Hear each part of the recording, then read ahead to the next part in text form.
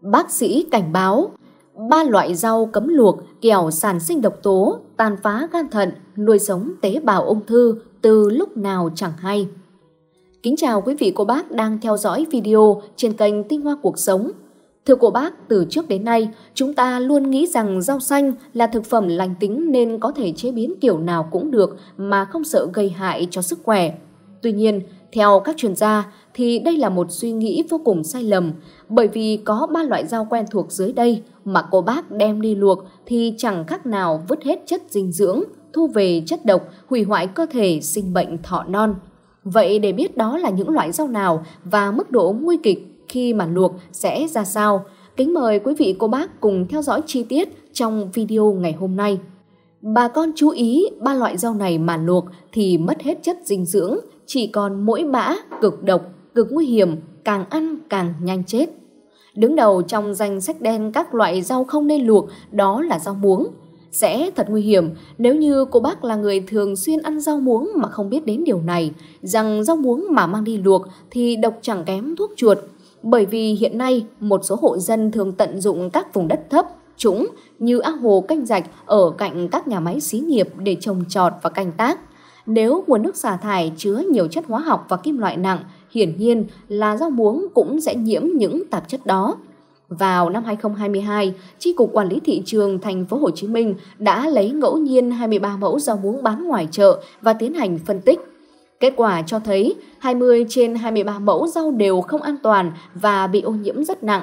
Đặc biệt mẫu có rau có lượng trì cao gấp 14 lần mức cho phép chì là một kim loại rất độc, dễ dàng khuếch tán trong nước sôi, nên nếu đem rau muống đi luộc thì đồng nghĩa với việc chúng ta đang ăn rất nhiều trì. Trì khi vào cơ thể sẽ tích tụ trong các cơ quan như não, thận, gan, xương tủy xương, hồng cầu và phá hỏng hết tất cả cơ quan nội tạng. Cá biệt, có trường hợp nhiễm trì ở liều cao còn mê sảng, xuất huyết não, co giật và tử vong. Do đó, khi ăn rau muống, cô bác cần rửa sạch, nấu chín kỹ, chọn mua rau có nguồn gốc rõ ràng. Nếu có thể, hãy chuyển dần từ việc ăn rau muống luộc sang rau muống xào hoặc làm nộm, cô bác nhé. Loại rau thứ hai đem đi luộc sẽ hại cả nhà sinh bệnh thọ non, đó là rau lang. Rau lang hay rau quai là một loại rau phổ biến trong ẩm thực Việt Nam. Bên cạnh rau lang xào tỏi thì rau lang luộc chấm nước mắm tỏi cũng là món ăn được rất nhiều người yêu thích. Tuy nhiên nếu ăn quá nhiều, ăn thường xuyên thì rau lang luộc sẽ phá hủy hai quả thận. Cô bác có biết lý do vì sao không ạ? Bởi vì trong thành phần của rau lang có chứa rất nhiều canxi tinh thể. Việc đem đi luộc sẽ tạo điều kiện cho tinh thể giải phóng và tăng gấp đôi về số lượng. Khi đi vào cơ thể, canxi dư thừa sẽ kết hợp với khoáng chất dư thừa, tạo thành sỏi, rồi tạo thành sỏi thận, người ta hay gọi là sỏi canxi oxalat. Để càng lâu, mức độ ảnh hưởng sẽ càng lan rộng, gây ra các biến chứng nguy hiểm không chỉ tại thận, mà còn nhiều cơ quan khác. Đặc biệt, khi sỏi canxi oxalat theo dòng tiểu di chuyển, nó sẽ cọ sát vào niêm mạc của thận, tạo điều kiện cho vi khuẩn xâm nhập và dẫn tới tình trạng nhiễm khuẩn đường tiết niệu. Lâu dần người bệnh sẽ bị teo và sơ thận không còn khả năng hồi phục. Do đó, nếu cô bác muốn tận dụng được tối đa lợi ích của rau lang và duy trì sức khỏe của mình, hãy ăn rau lang luộc ở mức vừa phải hợp lý, tuần từ 1 đến 2 bữa và nên kết hợp rau lang luộc với các loại thực phẩm giàu đạm khác để giảm bớt hấp thụ canxi của bác nhé.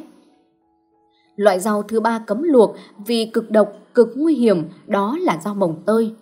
Tôi để ý thấy hiện nay nhiều người có sở thích ăn các loại rau chín tái vì cho rằng rau như thế mới ngon, giòn và ngọt. Tuy nhiên, đối với mồng tơi luộc mà có bác ăn chín tái thì chẳng khác nào tự ăn thuốc chuột. Bởi theo đồng y, lá và thân mồng tơi thì khá là nhớt, nếu không được nấu chín, dịch nhớt này sẽ biến tính và tác động xấu đến hệ tiêu hóa thông qua các triệu chứng như đầy bụng, khó tiêu, nôn mửa và đi ngoài ra máu. Chưa dừng lại ở đó, các loại rau xanh nói chung và bóng tơi nói riêng đều có chứa rất nhiều run sán, nhất là sán lá ruột. Vậy nên nếu mà không nấu chín kỹ để loại bỏ, chúng sẽ theo thức ăn và đi sâu xuống dạ dày. Sau một thời gian, cơ thể sẽ bị chúng tàn phá nên dễ dẫn đến suy nhược, kèm theo đó là tình trạng phù mặt, tràn dịch màng phổi, cổ trướng và ngứa ngáy mẩn đỏ khắp người. Vì vậy để đảm bảo an toàn thì tốt nhất là mọi người nên ăn rau mồng tơi đã được nấu chín kỹ để giúp cơ thể dễ dàng hấp thụ tối đa chất dinh dưỡng và loại trừ được khả năng nhiễm ký sinh trùng, bám trên rau. Loại rau thứ tư chuyên gia cảnh báo cấm luộc đó là đỗ cô ve. Tôi ước là mình biết điều này sớm hơn để không phải khổ sở thế này cô bác ạ. Chả là cách đây 2 tuần tôi làm món đỗ cô ve luộc cho bữa tối. Khi đang luộc thì đột nhiên hết ga. Nếm thử, thấy đỗ gần chín rồi nên dọn ra bàn ăn luôn. Còn tôi thì không thích món này lắm nên một mình tôi đã ăn hết cả đĩa. Đến khoảng 10 giờ đêm thì tôi bắt đầu bị tiêu chảy, nôn ói liên tục, khó thở và mệt mỏi nên vội gọi người đưa đi cấp cứu. Ở viện, bác sĩ có giải thích rằng độc tính chủ yếu của đỗ cô ve là chất saponin và legumin. Nếu không được luộc chín, nó sẽ khiến người dùng bị ngộ độc, kích thích niêm mạc dạ dày, nặng hơn có thể gây tử vong. Vì vậy cô bác không nên xào hay luộc đỗ cô ve qua quýt hay ăn sống mà phải nấu thật chín ở nhiệt độ cao. Khi đậu được nấu chín, độc tố trong đỗ cô ve sẽ bị phá hủy và không gây hại cho cơ thể. Phương pháp chế biến tốt nhất là mọi người nên trần đỗ cô ve trong nước sôi khoảng vài phút, sau đó mới vớt ra chế biến. Loại rau thứ năm cấm luộc, kẻo càng ăn càng nhanh chết, đó là cà rốt. Chắc chắn là chưa có ai nói cho cô bác biết điều này, rằng cà rốt chỉ phù hợp với việc xào, làm nộm hoặc hầm, chứ tuyệt đối không được luộc. Điều này được lý giải là do cấu tạo thành phần của củ cà rốt được xếp vào loại phức tạp bậc nhất trong các loại củ. Ở nhiệt độ cao trên 100 độ C, đa số chúng đều biến tính và gây hại cho sức khỏe con người. Điển hình như hoạt chất tiền beta-carotene trong cà rốt, khi đun sôi, chúng sẽ biến thành dioxy-carotene, một loại chất cực kỳ nguy hiểm. Khi đi vào cơ thể quá nhiều, chúng sẽ ứ động ở gan, lâu ngày gây nên chứng vàng da, chán ăn mất ngủ. Lâu dần cơ thể sẽ mất dần sức đề kháng, đau ốm thường xuyên và hay sốt nhẹ về chiều. Đây là những biểu hiện điển hình nhất của bệnh ung thư gan, sơ gan và gan nhiễm mỡ, cô bác cần hết sức lưu ý nhé.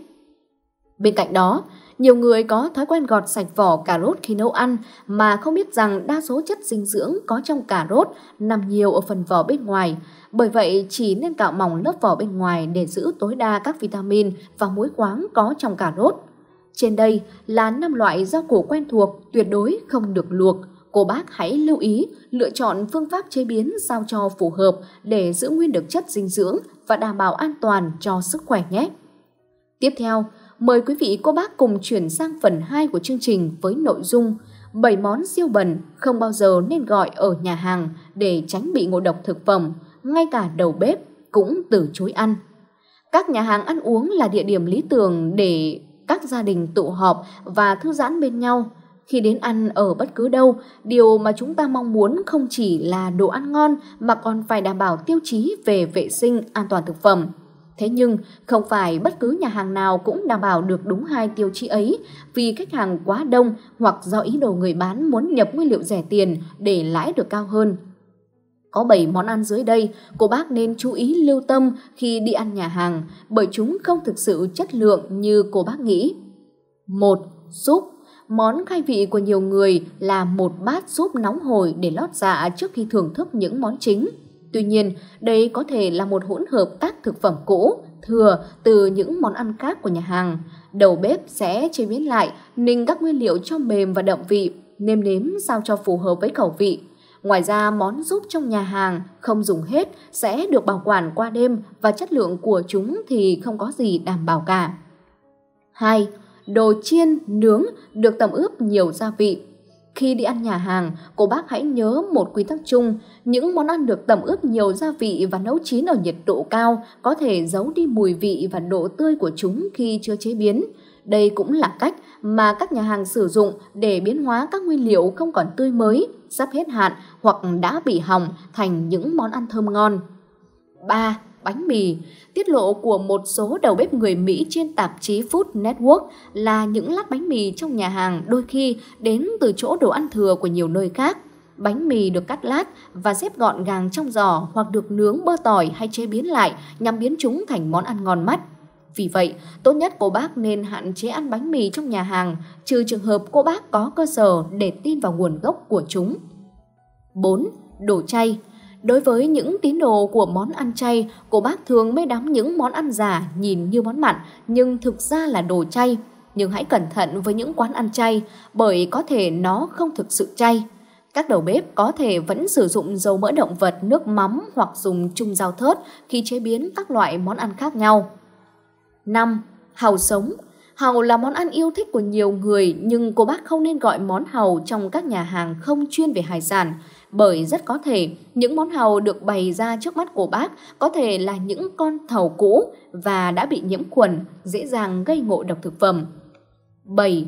Nấm Nấm là loại thực phẩm được nhiều người yêu thích bởi hương vị thơm ngon và giá trị dinh dưỡng cao. Tuy nhiên, nấm cũng là một trong những món ăn bẩn nhất trong nhà hàng vì nấm phát triển trong môi trường ẩm ướt và có xu hướng chứa bụi, vi khuẩn và côn trùng nên khó làm sạch. Hơn nữa, trên bề mặt nấm có nhiều lỗ nhỏ và vết lõm là nơi dễ tích tụ chất bẩn và vi sinh vật. Việc loại bỏ hoàn toàn bụi bẩn và vi khuẩn khỏi nấm là rất khó khăn, đặc biệt trong môi trường nhà hàng. Thông thường chúng ta nấu nấm ăn ở nhà, thường ngâm nấm trong nước tinh bột hoặc nước muối loãng rồi rửa sạch. Điều này có thể loại bỏ bụi bẩn và vi khuẩn khỏi nấm một cách hiệu quả. Tuy nhiên, để giữ được hương vị và độ tươi ngon, các nhà hàng thường không rửa nấm kỹ lưỡng như khi nấu ăn ở nhà. Việc chỉ xả nước qua loa khiến cho nấm vẫn còn sót lại nhiều tạp chất và vi khuẩn. 8. Lòng lợn Lòng lợn là nguyên liệu được nhiều người thích ăn, có độ giòn và đặc biệt là dai là nguyên liệu rất ngon. Có rất nhiều cách làm như lòng xào dưa, cháo lòng, lạp xưởng mỡ chiên giấm, lạp xưởng mỡ xào khô, ruột già chín khúc, lạp xưởng mỡ kho tộ. Lòng lợn rất ngon nhưng có mùi tanh và khó làm sạch. Khi tự làm lòng lợn, chúng ta rửa sạch bằng tay và dùng muối, giấm, kiềm, bột mì và các gia vị khác để làm sạch lòng. Nhưng nhà hàng chỉ có bấy nhiêu người, khi bận rộn không thể rửa kỹ như vậy mà thường đặt dưới vòi nước xả sạch hoặc ngâm bằng dung dịch hóa chất. Mặc dù cách này thuận tiện và nhanh chóng, nhưng chất lỏng hóa học còn sót lại có hại, ăn thường xuyên sẽ không tốt cho sức khỏe. 9. Ốc xào Ốc đồng là động vật thủy sinh sống ở vùng nước đục, thường ăn chất hữu cơ và vi sinh vật. Ốc đồng cần được ngâm rửa nhiều lần, cắt bỏ phần đuôi và nội tạng để loại bỏ bẩn và ký sinh trùng. Tuy nhiên, để tiết kiệm thời gian và chi phí, nhiều nhà hàng chỉ sơ chế qua loa mang đi chế biến. Món ốc xào thường được chế biến với lửa lớn để giữ được độ giòn ngon, nhưng trong thời gian ngắn có thể không đủ để tiêu diệt hoàn toàn ký sinh trùng trong ốc. Ăn ốc xào chưa được chín kỹ có thể dẫn đến nguy cơ nhiễm ký sinh trùng, gây ra các triệu chứng như tiêu chảy, đau bụng, buồn nôn. 10. Súp lơ hay còn gọi là bông cải Cô bác có biết rằng súp lơ thực sự là một nguyên liệu rất khó rửa sạch. Vì trong củ súp lơ có rất nhiều tạp chất, vi khuẩn và sâu bọ nên nếu không cắt từng củ, ngâm vào nước muối rồi trần qua, cô bác sẽ dễ ăn phải nhiều thứ không sạch. Nhưng ở trong các nhà hàng, đầu bếp thường không làm điều này vì để thuận tiện và nhanh chóng chị tráng qua nước rồi chế biến luôn. Hậu quả của việc này là dư lượng thuốc trừ sâu và vi khuẩn trong súp lơ vẫn chưa được loại bỏ hoàn toàn, tác hại đối với cơ thể con người vẫn còn đó. Tiếp theo, mời quý vị cô bác cùng chuyển sang phần 3 của chương trình với nội dung năm thay đổi không ngờ sau 7 ngày uống nước đậu đen rang gạo lứt không chỉ mùa hè, nước đậu đen dù uống vào bất kỳ thời điểm nào trong năm đều đem lại rất nhiều công dụng tuyệt vời cho sức khỏe. Trong các gian bếp của mọi gia đình Việt, đậu đen luôn sẵn có, dễ dàng chế biến để thanh lọc cơ thể, giảm cân, giải nhiệt rất tốt. Trong đông y, hạt đậu đen có vị ngọt, tính mát.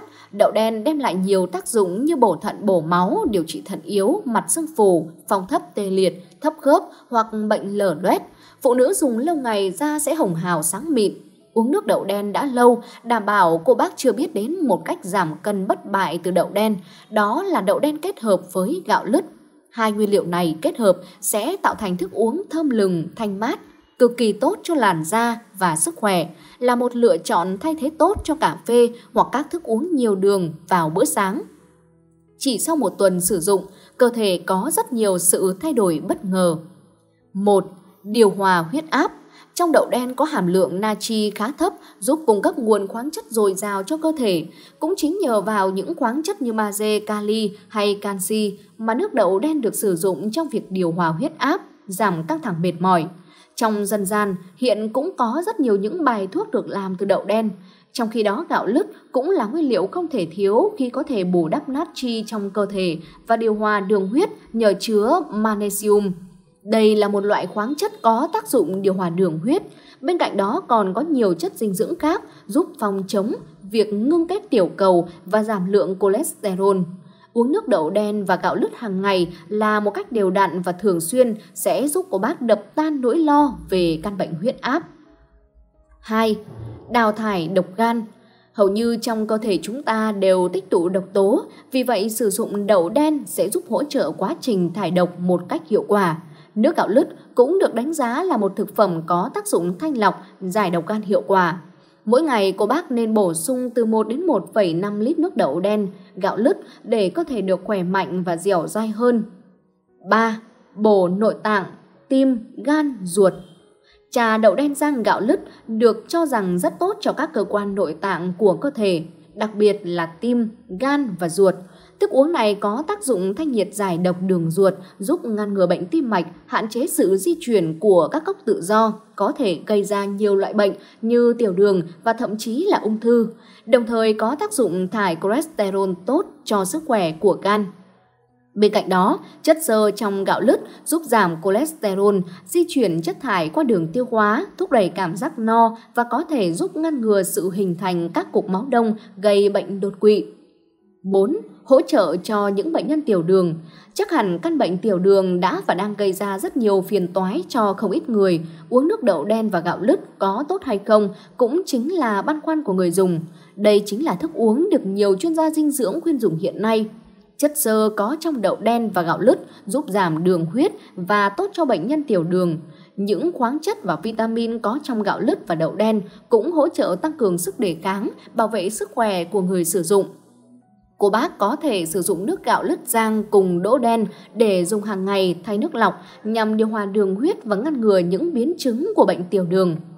Tiếp theo, mời quý vị cô bác cùng chuyển sang phần 4 của chương trình với nội dung Người sống lâu thường làm 6 việc trước khi đi ngủ, cái nào cũng dễ thực hiện.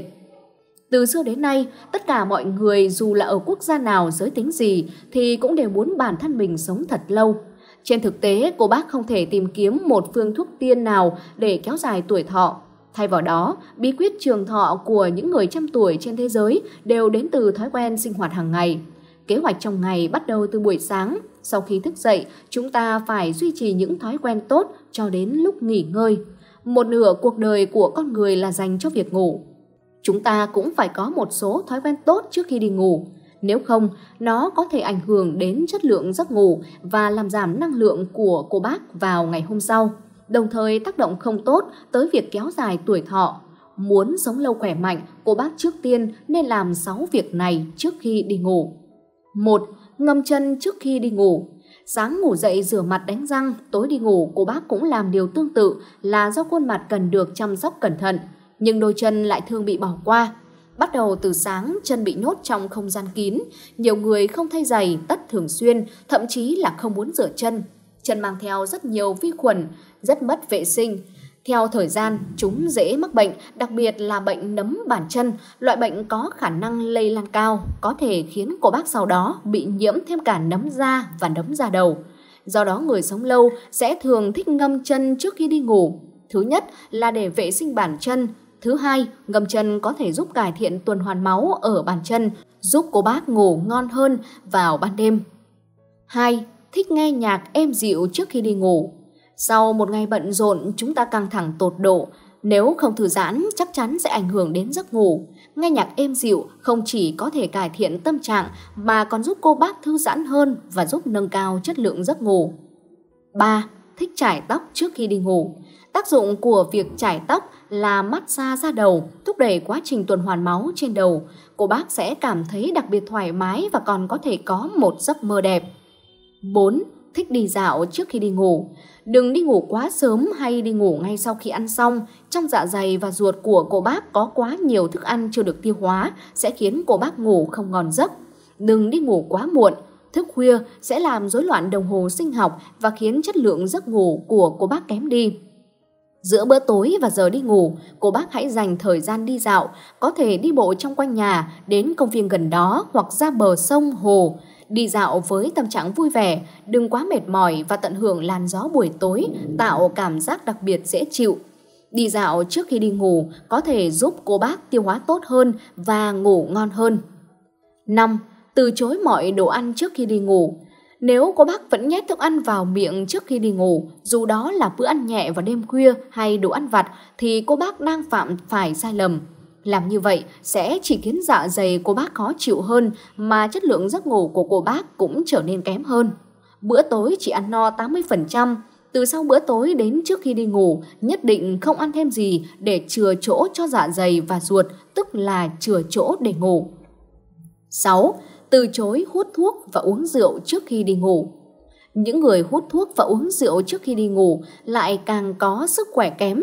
Hai thứ này chứa nhiều chất độc hại, buộc cơ thể phải vận hành cơ chế lọc thải trong thời gian dài để loại bỏ hoàn toàn bộ. Chúng ta hãy tưởng tượng cơ thể con người như một chiếc xe ô tô. Nếu mà không thường xuyên bảo dưỡng mà liên tục bắt nó phải hoạt động trong một thời gian dài thì chẳng mấy mà toàn bộ máy móc sẽ xuống cấp và hỏng vĩnh viễn.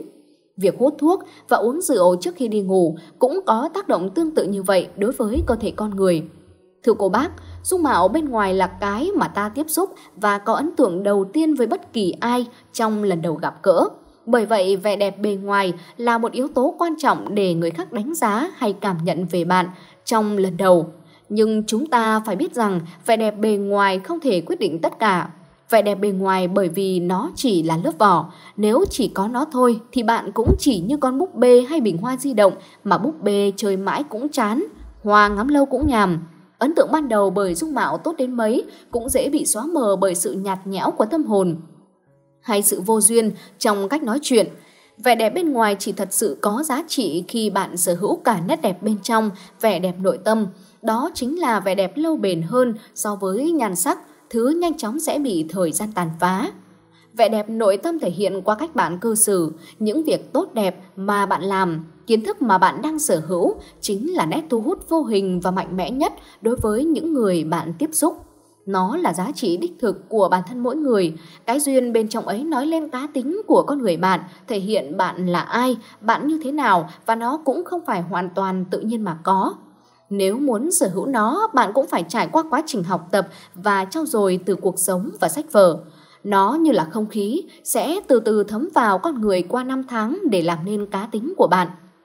Mỗi người có nhận thức mỗi khác về cái đẹp, thì trong đạo Phật cũng có những nhận thức khác nhau về cái đẹp. Phật giáo Đại Thừa qua tinh thần của Bồ Tát Đạo luôn luôn nhìn cuộc đời với tràn đầy vẻ đẹp, với những tính chất sâu xa vi diệu của nó. Chính Đức Phật trong Kinh Pháp Hoa với cái nhìn thanh tịnh và trong sạch như va lê, Ngài không thấy các chứng sinh đáng sợ, đáng xa lánh khi họ mang đầy những phiền não si mê trong tâm, mà Ngài chỉ thấy nơi họ có tràn đầy tính Phật. Người đời thường chú trọng vẻ đẹp bên ngoài và cho rằng một người đẹp là người có hình dung hay tướng mạo khiến người khác nhìn vào sinh tâm ưa thích, có sức hấp dẫn cuốn hút người khác, tức đẹp về cái răng, cái tóc, đôi mắt, làn da, đẹp về hình thể. Ngược lại Đức Phật khẳng định rõ giá trị của một con người nằm ở chính tâm hồn của người đó như thế nào. Một người đẹp lý tưởng là một người không chỉ đẹp về ngoại hình như nhan sắc, trang phục, về dáng vẻ, hình thức bề ngoài, mà còn đẹp cả về tư cách nếp suy nghĩ, ngôn ngữ và hành vi lối sống. Chúng ta thường quan tâm đến việc nuôi dưỡng cơ thể bằng những loại thức ăn nào bổ dưỡng lành mạnh, nhưng lại rất ít khi quan tâm đến việc nuôi dưỡng tâm hồn. Thật ra tâm hồn ta cũng cần được nuôi dưỡng và xét về nhiều khía cạnh, tâm hồn là quan trọng và cần chú ý quan tâm hơn rất nhiều. Một tâm hồn trong sáng khỏe mạnh dễ mang lại cho ta cuộc sống yên vui, hạnh phúc, ngay cả khi ta gặp phải những nghịch cảnh khó khăn. Vì thế chúng ta không lấy làm lạ khi biết rằng để có được một cuộc sống thật sự yên vui hạnh phúc, một tâm hồn trong sáng thanh thản, chúng ta cần phải biết nuôi dưỡng tâm hồn mình bằng những gì tươi mát, tốt đẹp, tránh ra những gì độc hại, gây thương tổn. Cuộc sống quanh ta có biết bao nhiêu điều tốt đẹp đáng quý và cần trân trọng. Chỉ cần ta biết khéo léo nhận ra và chọn lọc và phải nhớ rằng chúng ta không hề thiếu thốn những hạt giống tốt đẹp để gieo trồng. Mặt khác, trong cuộc sống cũng đầy rẫy những cỏ dại xấu xa.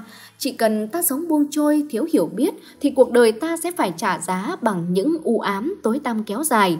Một tâm hồn tươi đẹp đầy hoa thơm trái quý hay tiêu điều hoang vắng với cỏ dại lan tràn.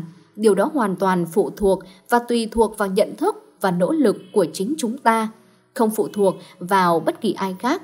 Nuôi dưỡng tâm hồn cũng quan trọng, cần thiết, không kém gì việc nuôi dưỡng thể xác nhưng chúng ta rất thường lãng quên, không chú ý đến việc này. Chúng ta đôi khi bỏ mặc tâm hồn mình khô cằn hoặc mọc đầy cỏ dại. Nếu ý thức được điều này và bắt đầu chăm sóc, gieo trồng những hạt giống tốt lành, chắc chắn bạn sẽ có được một cuộc sống tươi vui và hạnh phúc hơn nhiều.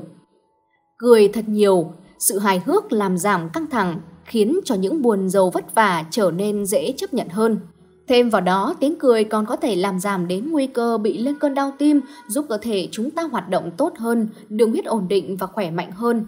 Nhưng chắc chắn không cần đến các nhà khoa học thì bản thân ta cũng hiểu và sẵn sàng công nhận và trân trọng những điều thú vị của cuộc sống mỗi ngày. Không phê phán chua cay hay hàn học sẽ làm cho cuộc sống trở nên thoải mái hơn nhiều, cũng như tạo nên sự dễ dàng hơn khi kết nối với mọi người. Và điều tuyệt vời là sự hài hước của bạn luôn độc đáo và duy nhất. Nó giống như dấu vân tay vậy, có thể gọi là bẩm sinh nhưng cũng hoàn toàn có thể được trau dồi và nuôi dưỡng. Hãy trân trọng cuộc sống một cách chân thành và luyện tập để trở thành người hài hước hơn. Nói lời cảm ơn Hồi còn nhỏ, chúng ta thường bị bố mẹ nhắc nhở hãy cảm ơn người nào đó đã giúp mình và bản thân ta cảm thấy thật phiền hà. Nhưng về sau này, khi đã trải qua nhiều kinh nghiệm người thật việc thật cũng như được các nhà nghiên cứu vào cuộc giải thích, thì nhiều người đã phần nào hiểu rõ được vì sao mình cần có thói quen cảm ơn người khác. Cảm giác biết ơn làm tăng cảm giác tích cực, giảm đau, giảm mệt mỏi và củng cố khả năng thể hiện trong cả học tập và công việc. Lòng biết ơn còn giúp bạn cảm thấy sự kết nối tốt hơn và truyền cảm hứng để bạn sẵn sàng giúp đỡ một người thân, đồng nghiệp hay hàng xóm. Tuy nói thế này có vẻ cầu kỳ và sáo rỗng, nhưng thật sự lòng biết ơn sẽ nâng đỡ tâm hồn bạn, giúp bạn yêu đời hơn. Sức mạnh của tâm niệm con người cần biết cái tâm bên trong của một người không hề có sự sai biệt đối với vẻ bề ngoài của người đó. Tướng tùy tâm sinh, cho nên vẻ bề ngoài của một người sẽ phản ánh ra nội tâm bên trong của người đó. Những người chỉ biết mang trong mình lòng thù hận, sự ghen ghét thì chắc chắn sẽ khiến người khác khó ưa. Trái lại, những người có tấm lòng từ bi sẽ khiến người khác muốn lại gần. Vì vậy, nếu một người muốn trở nên tốt đẹp hơn cả về tâm hồn và dung mạo, thì hãy dùng tâm niệm tốt đẹp để đối đãi với thế gian. Có thể làm được như vậy, bạn sẽ phát hiện được rằng chẳng những hết thảy mọi thứ trong cuộc sống của mình đều trở nên xinh đẹp, mà tâm tính và dung mạo của mình cũng càng ngày càng đẹp. Tâm hướng Phật, tin vào thần Phật Phật luôn khuyên dạy con người phải làm người chân thật, nhẫn nhịn, lương thiện, tử bi để trở thành một người thực sự tốt. Cho nên một người có tâm hướng Phật, tin vào thần Phật thì chắc chắn họ sẽ cân nhắc trước khi làm mỗi việc gì đó. Mỗi khi cân nhắc đến việc làm của mình, họ sẽ nghĩ xem việc làm mình có phương hại đến ai không, có chân chính đúng đắn không. Do đó họ sẽ không dễ làm việc ác, việc xấu, làm tổn hại người khác Người như thế tâm của họ sẽ đẹp và khiến mọi người xung quanh đều yêu mến, muốn được tiếp xúc, được đến gần. Ngoài ra, người tin vào thần Phật sẽ tin vào thiên lý. Do đó, họ không dám làm việc ác, luôn hành thiện tích đức và giúp đỡ mọi người. Người như vậy không cần nói ra, người khác cũng cảm nhận được họ là người có tâm tính tốt. Tâm hồn đẹp mang đến cho chúng ta những gì? Vẻ đẹp tâm hồn giúp bạn yêu bản thân hơn, tạo cảm giác ấm áp hơn cho những người xung quanh và giúp bạn nhận được nhiều cơ hội mà mình xứng đáng có được. Theo quan kiến của Phật, vẻ đẹp tâm hồn sẽ giúp con người có thể hợp nhất với vũ trụ, đồng thời xây dựng định hướng đúng đắn cho chúng ta trên con đường đạt tới giác ngộ giải thoát. Dẫu sao, ông bà mình cũng đã dạy cái nết đánh chết cái đẹp, cho nên mỗi người hãy sửa soạn và chăm sóc cho chính tâm hồn mình – một người biết tu tâm dưỡng tính thì đời dù cho này hay đời sau cũng sẽ được mọi người yêu mến. Cuộc sống với bao điều tốt đẹp đáng quý đang chờ đón chúng ta, sự tinh tế của bản thân sẽ giúp ta khéo léo nhận ra và chọn lọc những hạt giống tâm hồn để gieo trồng và vun đắp. Một tâm hồn tươi đẹp, mạnh mẽ hay u ám nặng nề, điều đó hoàn toàn tùy thuộc vào nhận thức và nỗ lực của chính chúng ta, chứ không phụ thuộc vào bất kỳ ai khác. Tới đây thì thời lượng của chương trình đã hết. Nếu cô bác thấy video này hữu ích, xin hãy like, chia sẻ và đăng ký kênh của chúng tôi để không bỏ lỡ những nội dung hấp dẫn tiếp theo. Chúng tôi luôn lắng nghe ý kiến của cô bác để có thể phục vụ được tốt hơn. Kính chào tạm biệt và hẹn gặp lại cô bác ở những video sau.